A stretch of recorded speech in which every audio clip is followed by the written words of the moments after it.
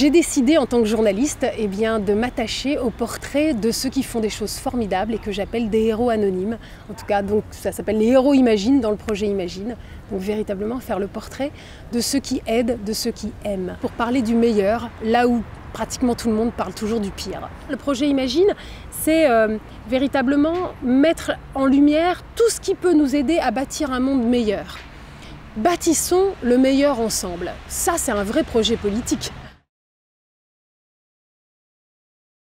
Vous montrez en action des personnes qui vivent véritablement l'amour, mais en action. Donc c'est pas du blabla, euh, on refait pas le monde en parole, on montre véritablement des gens qui ont les mains dans le cambouis. En ce moment, je fais une enquête sur l'égalité homme-femme dans le monde en partenariat avec l'ONU.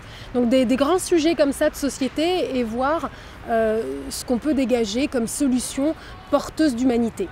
Et puis, il y a les témoignages d'hommage, où là, je demande à des stars, des personnalités, je leur demande de partager avec nous un moment de leur vie durant lequel ils se sont retrouvés en position de fragilité et où heureusement quelqu'un leur a tendu la main.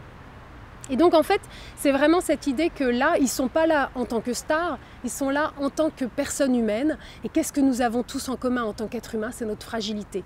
Donc c'est un vrai euh, exercice de simplicité, d'humilité et de partage, là encore. Et du coup, c'est intéressant parce qu'en miroir de nos portraits de héros, ça montre, c'est l'éloge du moindre geste. C'est-à-dire que nos héros sont tellement formidables, ils ne s'appellent pas héros pour rien, que certains se disent oui mais là, moi je suis incapable de faire tant de choses et tout. Oui mais parfois, tu vois, même un sourire peut changer le destin de quelqu'un. Donc euh, il y a cette responsabilité du moindre geste. Chaque matin quand tu te lèves et que tu vas sortir de chez toi, qu'est-ce que tu as décidé de faire et de donner autour de toi? Si tu as décidé de faire la gueule, ça va peut-être pas être au top.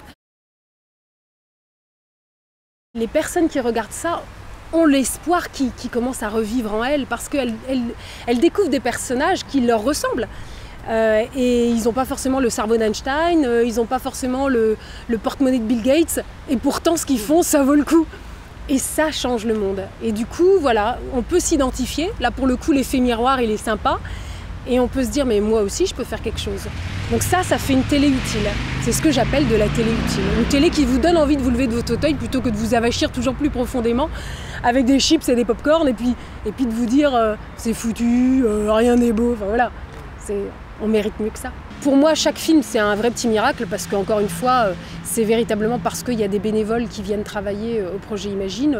Je trouve que c'est assez, assez énorme. Chacun nous montre qu'il a eu une idée originale, euh, qu'il a pensé autrement, et puis bah, qu'il il a eu l'énergie, le dynamisme de se lancer dans, dans l'aventure. Et à chaque fois, ça renouvelle nos esprits, ça renouvelle nos inspirations, et ça nous dit surtout une seule et même chose sans cesse. C'est le leitmotiv qui revient toujours, c'est que tout est possible. Et ça, ça c'est quand même la bonne nouvelle. Ça vaut le coup de la, communiquer au plus grand nombre.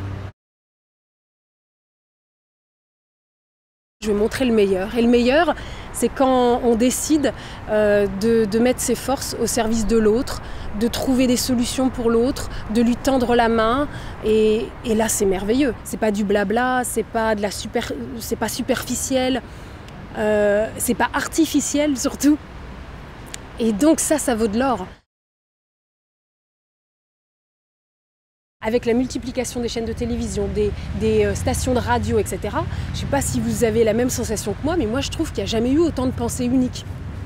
Donc du coup, euh, on est pris dans un moule comme ça qui, qui nous formate à croire d'une seule façon et à avoir l'impression peu à peu qu'il n'y a qu'un seul chemin à arpenter.